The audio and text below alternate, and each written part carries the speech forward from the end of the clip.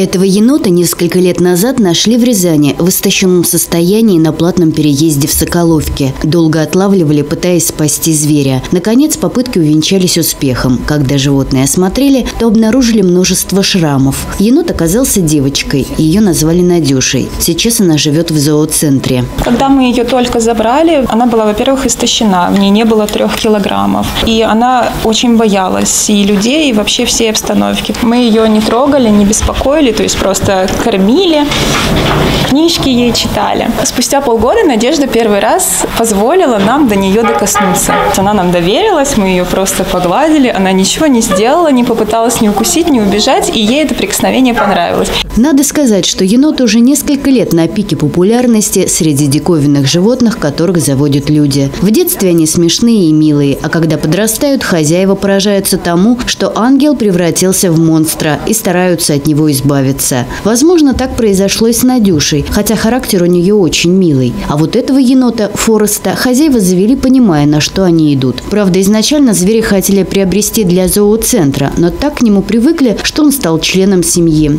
Получилось так, что в первые два месяца жизни енот провел в квартире, и ухаживали мы за ним, как за маленьким ребенком, выкармливали его из бутылочки, делали массаж живота.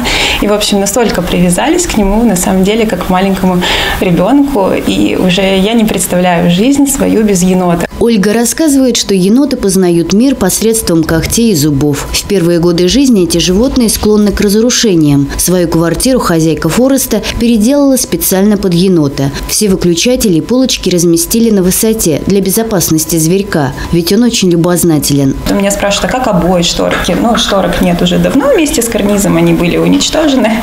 Вот. А обои тоже, то есть они лоскутами вот так были порваны. Но это не самое главное. Енот своими ручками способен в бетонной стене проковырять дыру. Это на самом деле, это правда про енотов. В коридоре было две огромные дыры из кулак, который проковырял Форест.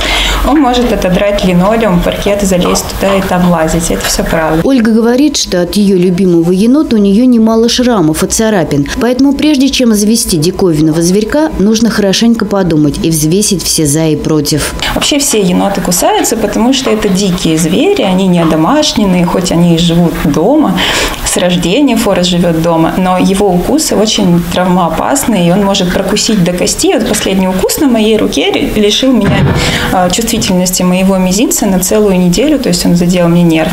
И на самом деле очень много шрамов. У меня четыре шрама на голове от моего домашнего милого енотика. У меня огромный шрам на ноге. Вот, и это норма для енотов. На сегодняшний день в интернете очень много предложений по броне на енотов. Дело в том, что у них сейчас период размножения. Но многие люди не понимают, на что они идут, когда решают завести редкого зверька. Форесту повезло, он попал в заботливые руки. Несмотря на его своенравный характер, его любят. Но вот другим животным может и не повезти, если они попадут не в те руки. Олеся Котровская, Игорь Глотов, телекомпания «Город».